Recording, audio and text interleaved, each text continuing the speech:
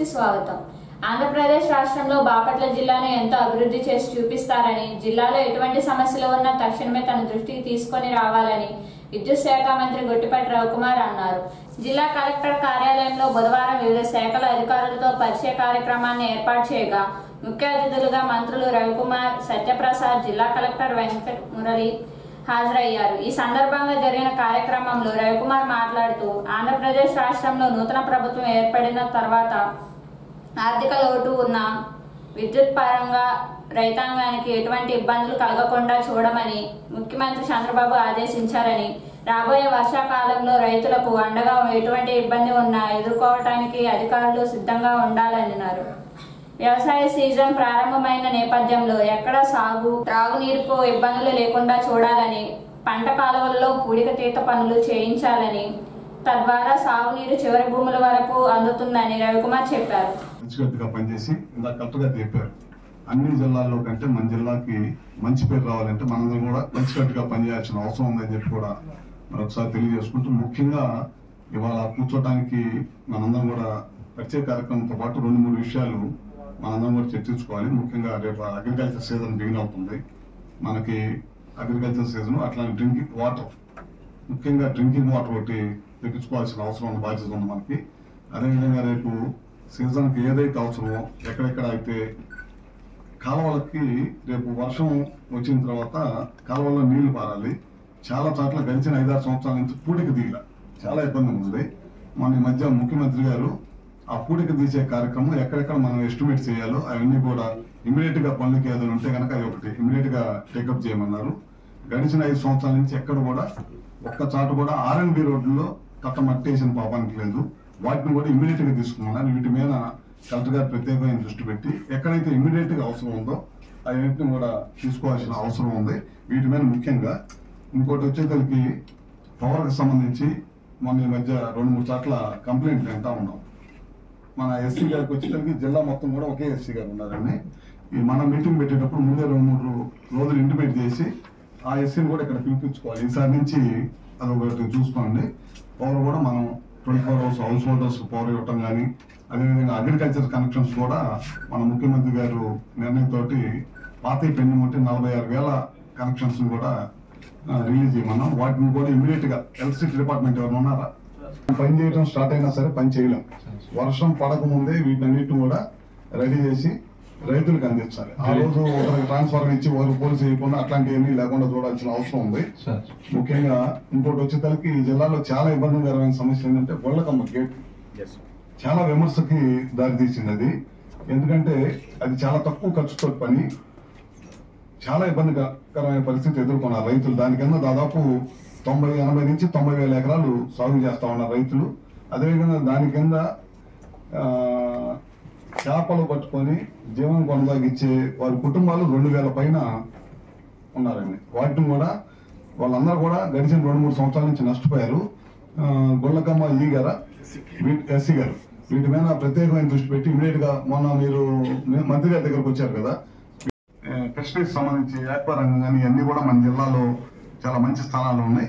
వీటిని ఇంకా అభివృద్ధి చేస్తే కనుక వాళ్ళందరూ కూడా మన ప్రభుత్వం తోడ్పాటుగా ఉంటుంది ఖచ్చితంగా.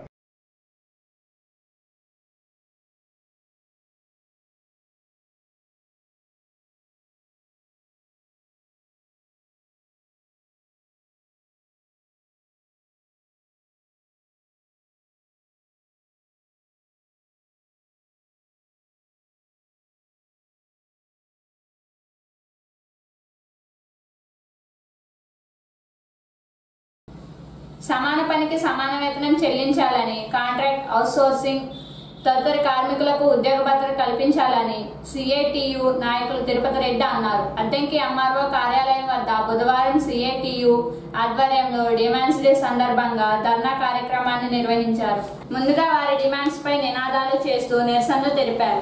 ఏఎస్ఓ అమర్నాథ్కు సమస్యలతో కూడిన వినతి పత్రం అందజేశారు. ఈ సందర్భంగా సిఐటియు నాయకులు తిరుపతి రెడ్డి మాట్లాడుతూ నలభై నాలుగు రకాల లేబర్ చట్టాలను రద్దు చేసి నాలుగు లేబర్ కోడ్స్గా మార్చిందన్నారు. గతంలో ఏడుగురు కార్మికులు ఉంటే యూనియన్ ఏర్పాటు చేసుకోవచ్చని కొత్తగా బీజేపీ ప్రభుత్వం ఏర్పాటు చేసిన లేబర్ కోర్స్ ద్వారా కనీసం వంద మంది కార్మికులు ఉంటేనే యూనియన్ ఏర్పాటు చేసుకోవటానికి అవకాశం ఉందన్నారు.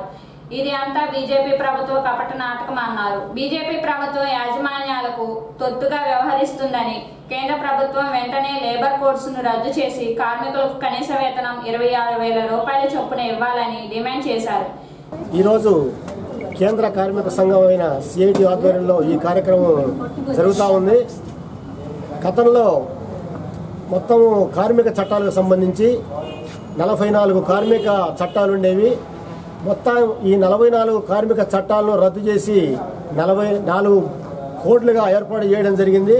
ఇది రెండు వేల ఇరవైలోనే బీజేపీ ప్రభుత్వం చేసింది. అయితే దీన్ని అమలు చేసేదానికి పూనుకోలేదు. ఈ సంవత్సరం ఒకటి ఒకటి ఏడు నుంచి ఈ నెల ఒకటి ఏడు నుంచి దీని అమలుకు పూనుకున్నారు. ప్రధానమైన దీంట్లో నష్టం ఏంటంటే గతంలో ఏడుగురు సభ్యులు ఉంటే యూనియన్ పెట్టుకునే అవకాశం ఉండేది. ఇప్పుడు యూనియన్ పెట్టుకోవాలంటే కనీసం వంద మంది ఉండాల్సిన పరిస్థితి ఏర్పడతా ఉంది. ఇది కార్మిక వర్గానికి తీవ్ర నష్టం కలిగించే చర్యనేసి ఈ సందర్భంగా చెప్తా ఉన్నాము. దీనికి సంబంధించి అట్లాగే ప్రైవేటీకరణకు సంబంధించి కూడా మనకు విశాఖ స్టీల్ ప్లాంట్కు సంబంధించి దాదాపు పన్నెండు వందల నలభై ఐదు రోజుల నుంచి అక్కడ కార్యక్రమం జరుగుతూ ఉంది. విశాఖ స్టీల్ ప్లాంట్ ప్రైవేటీకరణ జరగకూడదనేసి దానికి సంబంధించి మొత్తం గతంలో ఉన్న ప్రభుత్వం కానీ రాష్ట్ర ప్రభుత్వం కానీ దానికి సంబంధించి ఏం పట్టించుకోలేదు. ఇప్పుడు కొత్తగా కేంద్ర రాష్ట్ర ప్రభుత్వాలు మొత్తం కొత్తగా ఏర్పాటు చేయడం జరిగింది. ప్రధానంగా మన ఆంధ్ర రాష్ట్రంలో ఉన్న టీడీపీ మద్దతుతోనే కేంద్ర ప్రభుత్వం అధికారంలో ఉంది. ఈ సమయంలోనైనా కేంద్ర విశాఖ స్టీల్ ప్లాంట్ రక్షణకు తెలుగుదేశం పార్టీ చర్యలు తీసుకోవాలనేసి ఈ సందర్భంగా కోరుతా ఉన్నాము. అట్లాగే ఒక ప్రణాళికాబద్ధంగానే విశాఖ స్టీల్ ప్లాంట్కు నిధులు లేకుండా చేస్తూ ఉన్నారు. దానివల్ల అది ఒక్కొక్క ప్లాంట్ మూసేసే ప్రయత్నాలు జరుగుతూ ఉన్నాయనేసి సందర్భంగా చెప్తా ఉన్నాము. అట్లాగే స్కీమ్ వర్కర్లకు సంబంధించి అంగన్వాడీలకు కనీస వేతనం ఇరవై ఆరు వేల రూపాయలు అమలు చేయాలనేసి ఈ సందర్భంగా కోరుతా ఉన్నాము. ప్రత్యేకించి ఈ కాలంలో ధరలు విపరీతంగా పెరుగుతూ ఉన్నాయి. అందువల్ల పెరిగిన ధరలకు అనుగుణంగా స్కీమ్ వర్కర్లకు అంగన్వాడీలకు కానీ ఆశాలకు కానీ మధ్యాహ్న భోజన పథకంగా పథకాలకు కానీ ఇతర ఈరోజు దేశవ్యాప్తంగా కార్మికులకు సంబంధించినటువంటి హక్కులను కాపాడాలని కార్మికుల డిమాండ్స్ డే కార్మికుల సంబంధించినటువంటి ఏవైతే ఉన్నాయో సమస్యలు పరిష్కారం కోసం దేశవ్యాప్తంగా ఈరోజు కార్మికులందరూ ఈ రోజుని ఈ దినంగా కార్మిక డేగా ప్రకటించడం అనేది జరిగింది. దానిలో భాగంగా ఈరోజు సిఐటి ఆధ్వర్యంలో అద్దెంకి ఎంఆర్ఓ ఆఫీస్ దగ్గర ఈరోజు నిరసన కార్యక్రమం చేపట్టడం జరిగింది. ముఖ్యంగా మేము ఈరోజు చెప్పదలుచుకున్నాం స్కీమ్ వర్కర్లుగా ఉన్నటువంటి అంగన్వాడీలు ఆశ మధ్యాహ్నం భోజనం ఈఓఏలు దానికి సంబంధించినటువంటి ఏ అయితే ఉన్నారో కేంద్ర ప్రభుత్వ సర్వీసుల కింద పనిచేసినటువంటి కార్మికులు ఎవరైతే ఉన్నారో ఇట్లాంటి కార్మికులకు అందరికీ కేంద్ర ప్రభుత్వం ఇచ్చినటువంటి సుప్రీం కోర్టు గైడ్లైన్స్ ప్రకారం కనీస వేతనం ఇరవై ఆరు వేల రూపాయలు ఇవ్వాలని చెప్పేసి ప్రధానమైనటువంటి డిమాండ్తో ఈరోజు ఈ డిమాండ్ డే జరుగుతూ ఉంది. దాంతో పాటు ఈరోజు కేంద్ర ప్రభుత్వం నరేంద్ర మోడీ బీజేపీ అధికారంలోకి వచ్చిన తర్వాత కార్మిక చట్టాలన్నింటినీ నిర్వీర్యం చేసి నాలుగు లేబర్ కోడ్ బిల్లులుగా తీసుకొచ్చి ఈరోజు కార్మికుల్ని అణిసివేసేటువంటి విధానాన్ని అవలంబిస్తా ఉంది. దీన్ని వెంటనే ఈ కార్మికుల లేబర్ కోడ్ బిల్లును వెంటనే రద్దు చేయాలని చెప్పేసి ఈ సందర్భంగా మేము డిమాండ్ చేస్తా ఉన్నాం. ఈరోజు కార్మికులకి సమ్మె చేసుకునే హక్కు లేకుండా ఈరోజు ధర్నా చేసుకునే హక్కు లేకుండా యూనియన్ రిజిస్ట్రేషన్ చేసుకున్నటువంటి హక్కు లేకుండా ఏమీ లేకుండా కార్మికులకు ఉన్నటువంటి హక్కులన్నీ హరించేస్తామని మరొక పక్క పెట్టుబడిదారులకి పెద్ద పెద్ద బడా పారిశ్రామికవేత్తలకి రాయితీలు ఇస్తా ఉన్నారు. ఈ ప్రభుత్వం బీజేపీ ప్రభుత్వం బడా పెట్టుబడిదారులకు కొమ్ము కాసే ప్రభుత్వంగా ఈ రోజు తయారైంది. అందుకని మొన్న జరిగినటువంటి ఎన్నికల్లో ఈ బీజేపీకి బలాన్ని తగ్గించారు. అయినా బుద్ధి లేకుండా ఈ రోజు రొచ్చి రాంగులోనే కార్మికుల పట్ల కక్ష సాధింపు చర్యలు చేపడతా ఉంది. దీన్ని తీవ్రంగా ప్రజా సంఘాల తరపున మేము వ్యతిరేకిస్తా ఉన్నాం. దాంతోపాటు రాష్ట్ర ప్రభుత్వంలో ఉన్నటువంటి రాష్ట్రంలో ఉన్నటువంటి నాయకులు కూడా. ఈ రోజు నిన్న మొన్న రాంగులో ఉన్నటువంటి ప్రభుత్వం ఈ రోజు స్కీమ్ వర్కర్ల పైన వేధింపులు మొదలైంది మొన్నటిదాకా వచ్చినటువంటి ధర్నా శిబిరాల్లోకి వచ్చి మేము మీకు సపోర్ట్గా ఉంటామని చెప్పినటువంటి నాయకులు ఈ రోజు స్కీమ్ వర్కర్లు మీరు వెళ్ళిపోండి స్వచ్ఛందంగా రాజీనామా చేయండి మీరు వెళ్ళిపోండి మీ స్థానంలో మేము మీరు మీరు ఒకరిని పెట్టుకోవాలని చెప్పేసి వేధింపులు చేస్తా ఉన్నారు. మేము ఒకటే చెప్తా ఉన్నాం రాష్ట్ర ప్రభుత్వానికి అయ్యా కార్మికులు ఏదైతే ఉన్నారో వాళ్ళ పొట్ట కొట్టొద్దు వాళ్ళకి ఇచ్చినటువంటి హామీని ప్రతిపక్షంలో ఉన్నప్పుడు హామీ ఇచ్చారు దాని అమలు కోసం దాని చర్య కోసం మీరు పాల్గొనాలి అట్లా దానికోసం చూడాలని చెప్పేసి ఈ రాష్ట్ర ప్రభుత్వానికి కూడా మేము తెలియజేస్తా Sauna.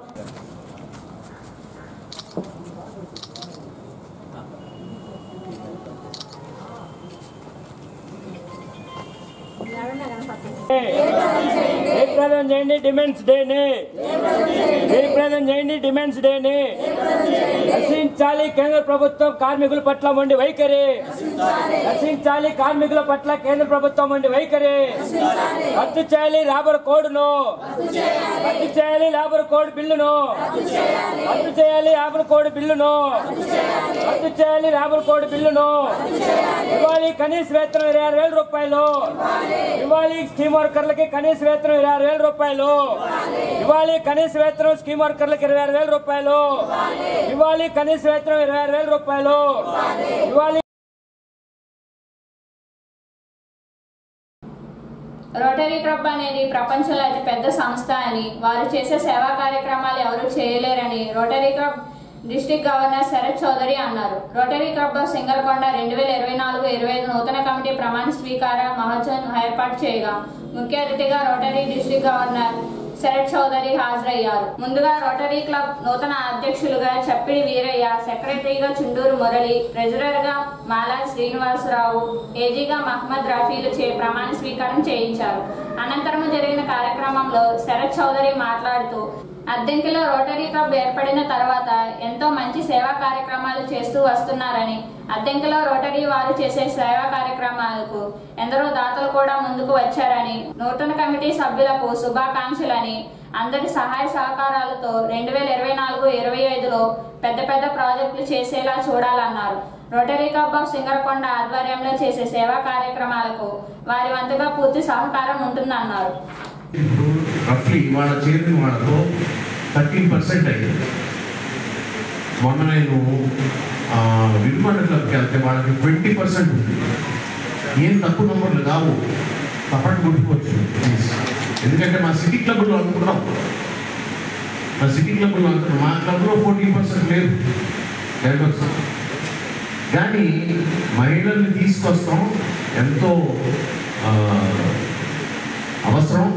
దానివల్ల లాభాలు కూడా రోడ్డుకి చాలా ఉంటాయి. మనం ఒక దుష్కోణంతో చూస్తాం వాళ్ళు వేరే దుష్కోణంతో చూస్తారు ఆ ఎంపతి వాళ్ళ సైడ్ ఎంపతి ఉన్నప్పుడు you have empathy for half the population సగం పాపులేషన్ వాళ్ళు. వాళ్ళ వాళ్ళ దృష్టికోణంతో చూస్తే ఏం చేయాలి మనం అని మనకి ఇంకా బాగా అర్థం అవుతుంది నెక్స్ట్ సేవ. నెక్స్ట్ స్తంభం సేవ. నేను బ్రహ్మాండమైన సేవలు చేస్తారు టూ హండ్రెడ్ త్రీ హండ్రెడ్ చేస్తున్నాను. ఫంటాస్టిక్ నా రిక్వెస్ట్ ఏంటంటే పబ్లిక్లో పబ్లిక్ కళ్ళలో పడే ఒక ప్ర- సేవ ప్రతి ఆరు నెలలు చేయాలి. ఒక ప్రభావంతమైన సేవ. అంటే పబ్లిక్లో అమ్మో వీళ్ళ పెద్ద ఎత్తున ప్రాజెక్ట్ చేస్తున్నారు ఇప్పుడు ఇవాళ ఓటీ ఎవరైనా గుర్తించుతూ ఉంటే ఓన్లీ ఓన్లీ వాళ్ళు నిత్య సేవాభిషేకం చేస్తారన్న పేరు. ఆ రాజశేఖర్ రెడ్డి గారు చెప్పారు వాళ్ళు జాగ్రత్తగా సేవ చేయమన్నాం అంటే ఊతో ఒకటి చేస్తారు. లాస్ట్ ఇయర్ మీ ప్రెసిడెంట్ కూడా చేస్తున్నారు. నా లెక్క ప్రకారంగా ఏ వరకు రెండు రోజులకు ఒక ప్రాజెక్ట్ చేసే ఉత్సాహం ఉండదు. అంత మెంబర్స్లో అంత ప్రావీణ్యత కూడా ఉండదు. సో కంగ్రాచులేషన్స్ అండి. And it is not a normal thing గర్వంగా ఫీల్ అవ్వాలి మీ గురించి మేము కూడా గర్వంగా ఫీల్ అవ్వాలి ప్రభుత్వం మన దగ్గర ఒక రెండు వందల ప్రాజెక్టులు ప్రతి సంవత్సరం నిరంతరంగా చేస్తూ ఉంటారు. చాలా గొప్పగా చెప్పుకోవాల్సిన నేను ఎక్కడికైనా బయటికి వెళ్ళినప్పుడు చెప్తాను. మా మా మా దగ్గర ఒక క్లబ్ ఉంటుంది రెండు వందల ప్రాజెక్టులు చేస్తారు. ఒక సంవత్సరం సంవత్సరం తర్వాత ఎవ్రీ ఇయర్ చేస్తూ ఉంటారు. స్నేహం సేవ సహకారం మీద ఆధారపడి పనిచేస్తుంది. రెండు సూత్రాలు ఒకటి ఒకటి అది సత్యమా? అందరికీ ఇది తప్ప సత్సంకల్పాన్ని పెంపొందించిన ఇది అందరికీ ప్రయోజనకరమా అనే నాలుగు సూత్రాల మీద రోటరీ ఆధారపడి ఎంపిక పనిచేస్తుంది అదేవిధంగా ఏడు గంటల్లో రోటరీ ప్రాధాన్యతలు చేస్తుంది ఒకటి సమాజంలో శాంతి సామరస్య సాధన యువకులకు మార్గదర్శనం మానవాళిని పీడించే polio HIV AIDS dengue malaria మొదలగు వ్యాధులను అరికట్టేందుకు తగిన చర్యలు. మూడు పరిశుభ్రమైన వాతావరణం తాగునీటి సౌకర్యం కల్పించే కార్యక్రమాలు మాతా శిశు సంరక్షణ భౌతిక ఆహార విలువలు వయోజన అందించగా లేదు వివిధ వృత్తి నైపుణ్యాల్లో శిక్షణ ఇచ్చి వారి ఆర్థిక స్వావలంబనకు తోడ్పడగా పర్యావరణ పరిరక్షణ ఈ ఏడు అంశాల్లో రోటరీ కార్యక్రమాలు చేపడుతుంది వీటిని వేరు చేసుకొని రాష్ట్ర సహకారంతో మరిన్ని కార్యక్రమాలు చేస్తామని ఆశిస్తూ ప్రమాణం చేస్తూ ముగిస్తున్నాను భవనానికి తండ్రి గారు శ్రీనివాసరావు. ఆ, రైట్. దేవి ప్రసాద్ రైట్. దీనికి మరి అక్కడ ఊరుకు రామకోటేశ్వర మిత్రుడు వారు ఐదు లక్షలు ప్రకటించారు వారు కూడా ఒకసారి కష్టం ఇచ్చినందుకు ఇస్తామని వాగ్దానం చేసినందుకు రుద్రయ్య గారికి పుష్పగుచ్చంతో సత్కరిస్తున్నారు నోటిఫికేషన్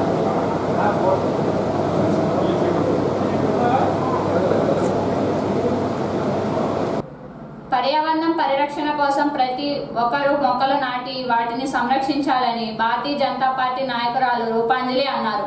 భారతీయ జనతా పార్టీ పిలుపు మేరకు అమ్మ కోసం ఒక మొక్క కార్యక్రమంలో భాగంగా బుధవారం అద్దెంకి పట్టణంలో రాజీవ్ కాలనీలో ఉన్న మండల పరిషత్ ప్రాథమిక పాఠశాల ఆవరణలో రూపాంజలి హెచ్ఎం కరి రామయ్య తదితరులు కలిసి మొక్కలు నాటారు. పర్యావరణం పరిరక్షణ కోసం మొక్కలు ఎంతో దోహదపడుతున్నాయని భారత ప్రధానమంత్రి నరేంద్ర మోడీ పిలుపు మేరకు అమ్మ కోసం ఒక మొక్క నాటే కార్యక్రమం చేస్తున్నారని రూపాంజలి తెలిపారు. ప్రతి ఒక్కరు ఇంటి ముందు మొక్కలు నాటి భావితరాల వారికి మంచి ఆక్సిజన్తో పాటు ఆహ్లాదకరమైన వాతావరణం అందించాలన్నారు. భారతీయ జనతా పార్టీ మేరకు అమ్మ కోసం ఒక మొక్క కార్యక్రమంలో నేను ఈరోజు ఎంఎం ఎంపీపీ స్కూల్లో ఒక మొక్క నాట నాటడం జరిగింది. అదేవిధంగా ప్రతి ఒక్కరూ తన వంతు బాధ్యతగా తనకు వీలైన చోట్లలో ఒక మొక్క నాటవలసిందిగా నరేంద్ర మోడీ గారి ఆదేశం. పర్యావరణ పరి పరిరక్షణ కోసం ప్రతి ఒక్కరూ మొక్కలు నాటి పెద్ద వృక్షాలు చేయాల్సిందిగా కోరుచున్నాము. ఈ ఆక్సిజన్ పిల్లలకి మన ఆహ్లాదకరానికి మంచి తో తోడ్పడుతుందని